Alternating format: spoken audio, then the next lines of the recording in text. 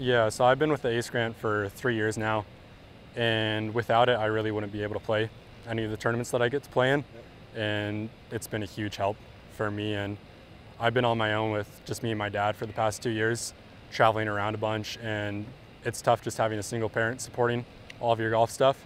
And the ACE grant has completely saved us and let me keep on playing golf tournaments, so it's been huge for me. Yeah.